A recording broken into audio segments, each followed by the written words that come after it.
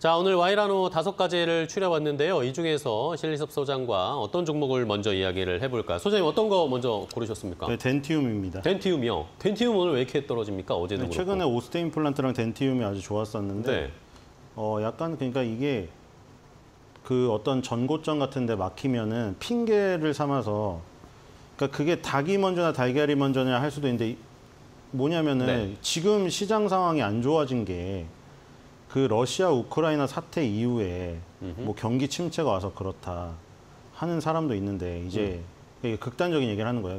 극단적인 이제 차티스트들은 네. 그거는 기술적으로 어떤 고점에 이르러서 떨어질 상황이 지금 나오고 있는데 거기서 그런 경제적 이슈를 갖다 붙여서 음. 이유를 그 이유를. 설명하기 위해서 하는 거다.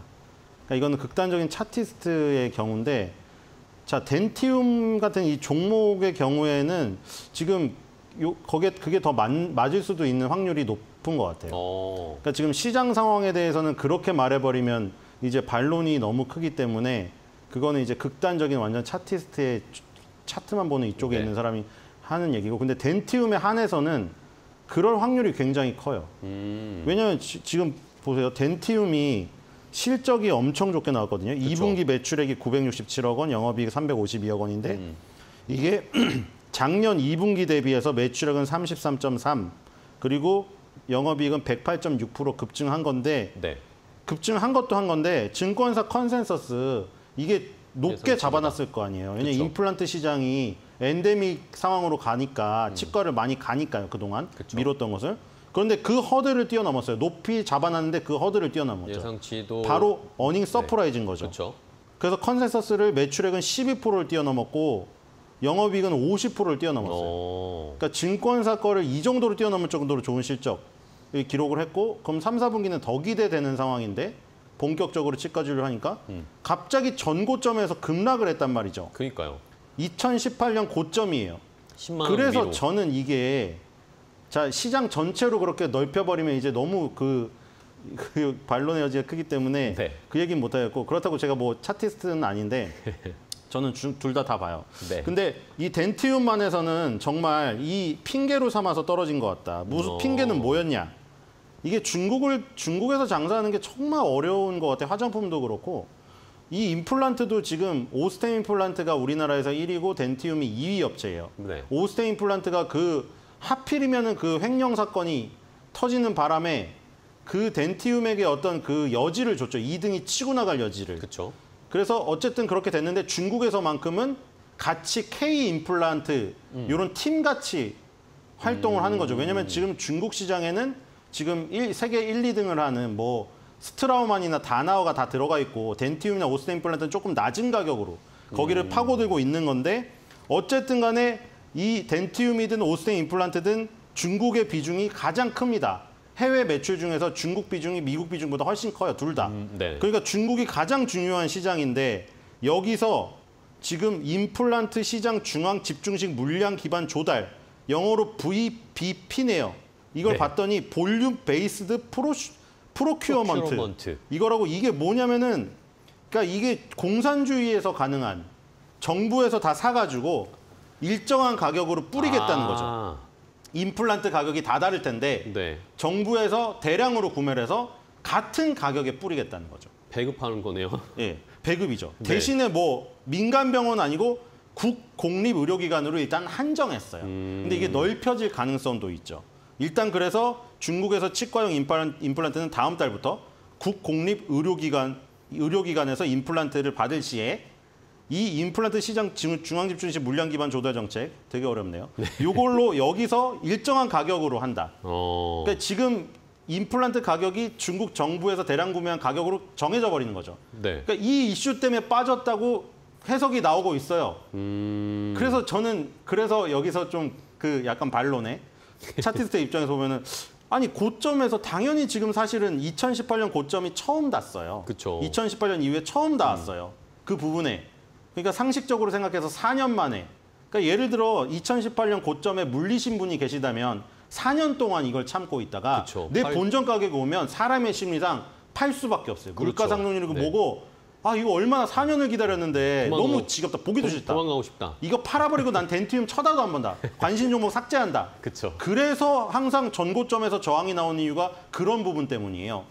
그래서 이제 자연스럽게 그 기술적인 고점에 걸려서 나온 것 같긴 한데 이걸 이거라고 하니 그래서 이제 오스템 임플란트에서 뭐라고 말했냐면 뭐 덴티움이지만 결국 K 임플란트로 가니까 오스템 임플란트에서는 우리는 어차피 네. 덴티움도 그렇고 로컬 비중 이른바 민간 병원 비중이 높기 때문에 어. 국공립 병원에서 이런 임플란트를 뭐 배급으로 똑같은 가격 하더라도 우리는 사실 거기에 노출도가 별로 없고 그리고 우리는 없다. 원래 아까 말한 대로 스트라우만 스위스의 음. 스트라우만하고 미국의 다나허에 비해서 원래 임플란트 가격을 싸게 그러니까 들어가고 싸게 있기 때문에 들어가면은- 포지션 자체가 만약에 국공립에서 그렇게 낮추면 오히려 역, 역, 역으로 그쵸. 기회가 될 기회가 수도 있다. 생기는 거죠.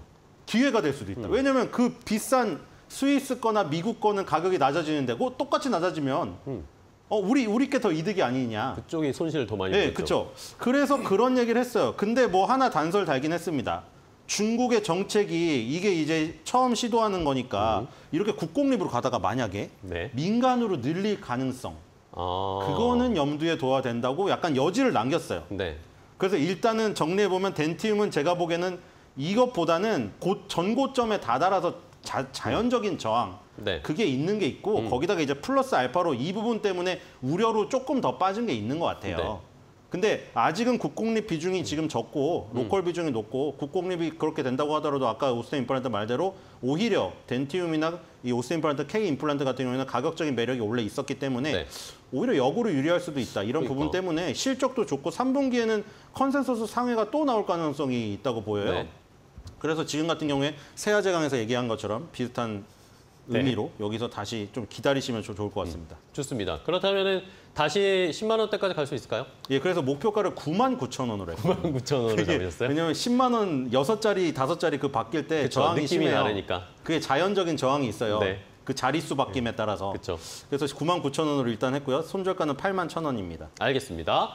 자, 덴티움은 그렇게까지 우리가 걱정할 필요는 없다라는 의견으로 다시 전고점을 한번 도전해보지 않을까라는 어, 전망을 한번 해봤습니다. 덴티움 확인해봤고요. 다음 마이라노 종목 바로 확인해보겠습니다.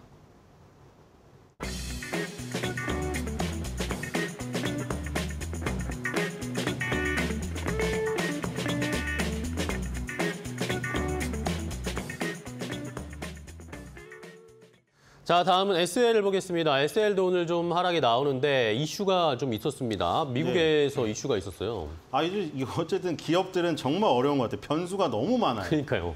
이 SL도 지금 어, 언론에서 딱 한 군데 나왔다고 그래요. 이, 이게 왜 SL이 갑자기 이것도 사실은 좀 그 덴티움하고 비슷한 감이 비슷한가요? 있거든요. 왜냐면 2021년 6월 달에 역사상 최고가를 썼는데 그쵸. 거기를 다시 가다가 지금 막혔는데 제가 보기에는 거기 뭐 전고점을 한 번에 뚫는 게 가장 좋겠지만 사실 한 번에 뚫기보다는 여러 번 한 번 두들기고 뚫거든요, 보통. 그렇죠. 특히 오래되면 기간이 오래되면 오래될수록 더 그래요. 그러니까 이거는 1년 됐고 덴티움은 4년이 됐는데 어쨌든 거기서 저항을 받아서 자연적으로 빠지는 게 분명히 있어요. 음, 그게 몇 프로인지 정확히 얘기를 드릴 수는 없죠. 그걸 미스터 저기 마켓만 알지 제가 어떻게 알겠어요. 네. 근데 그 부분이 분명히 있는데 여기서 또 핑계가 나온 게 뭐냐면 네. 좀 엘라바마에서. 이게 맞나 싶은데 시- 지난해 11월부터 억압적인 아동 노동력을 활용했고 이게 법 그 문구에 그대로 나온 거예요. 네. 16세 미만 미성년자 고용을 했다. 누가? SL의 엘라베마 법인이. 엘라베마 엘라베마 법인이 SL이 엘라베마에 있는 이유가 현대차가 엘라베마에 그쵸, 있고 그쵸. 그 바로 옆에 조지아에 기아가 또 있어서 이렇게 협력 업체들이 보통 가서 그 같이 꾸려요. 그렇죠. 그렇죠. 그래야 이제 부품 수- 수급이 원활하겠죠. 근데 여기서 이 부분을 어겼다 해가지고 지금 어. 이 법정 연령 미만 노동자 고용 문제로 제재를 받을 가능성이 있다고 지금 합니다. 그래서 떨어졌다. 그런 얘기가 있고 이게- 그 다음에 네. 또 이제 SL을 포함해서 우리나라 그 기아차나 현대차의 문제가 지금 그 부분이 나왔잖아요. 미국 인플레이션 네. 감축법이 부저금, 통과돼서 부저금. 테슬라는 좋은데 네. 그게 미국에서 조립된 차에. 대해서만 한다고 하니 그쵸. 지금 우리나라 현대차 기아의 전기차는 전량 수출이에요. 전기차 전용 공장을 거기 지금 기아가 짓고 있는데 조지아에 아직 안 지었어요. 그렇죠. 그래서 우리나라에서 해서 나가야 되기 때문에 어, 우리나라에서 조립된 거니까 못 받는 거예요. 그래서 지금 급한 소식이 나온 게 정의선 현대차 그룹 회장님이.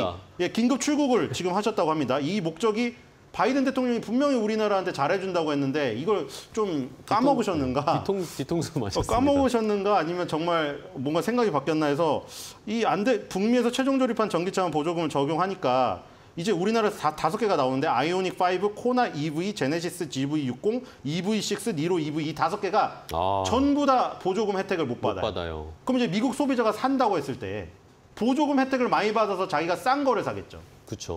그렇기 때문에 되게 불리할 수밖에 없어요. 그래서 지금 긴급하게 출국을 하셨고 그 다음에 내년 상반기 착공 예정이었던 조지아주의 전기차 전용 공장 음. 이거 일정을 올해 착공하는 것으로 땡깁니다. 빨리 땡기자고 지금 얘기를 하고 있습니다. 그래서 어쨌든 현대차 그룹 기아의 이런 움직임이 SL한테는 당연히 좋을 수밖에 없는. 오. 아까 말했 여기서 나왔잖아요. 그 노동자법 고용 문제에서 나왔죠. 네. SL의 법인이 엘라베마에 있고 네. 그럼 이제 조지아 전용 기아차 공장이 생겨진다. 음. 그럼 기아차에서 그 전기차가 나오겠죠. 그 전기차의 눈은 당연히 그 SL의 전기차에 어울리는 눈을 달겠죠. 그렇죠. 엘라베마에서 바로 옆에 조지아로. 네. 그래서 이런 부분이 같이 혜택을 입을 수가 있다. 음. 그러면 SL도 오히려 지금 좀 기회일 수 있나요? 예, 가격 저도 덴티움하고? 똑같다고 생각. 이게 억압적인 아동 노동력 활용이 가능한가요, 이게 미국에서? 이게 아 그러니까 이- 일단 그거 거기까지 나왔어요. 이게 어디까지 나왔냐면 이제 이걸 제출을 했대요. 우리는 이걸 몰랐다. 이거 네. 이렇게 착취하려는 게 아니었다. 근데 끝 부분에 판사가 아직 사인은 안 했다고 거, 네네네. 거 기가 나왔거든요.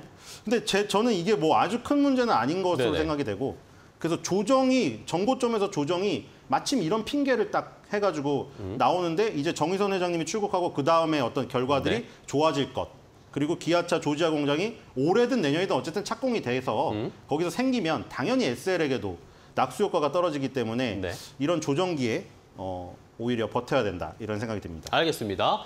자, SL도 앞에서 말씀드린 덴티움과 좀 비슷한 맥락입니다. 뭐 전혀 다른 업종이긴 하지만 지금 떨어지는 것이 좀 과도하다라는 그런 의견으로 오히려 어, 매수 찬스가 좀 될 수 있을 것이다라는 의견까지 함께 들어봤습니다.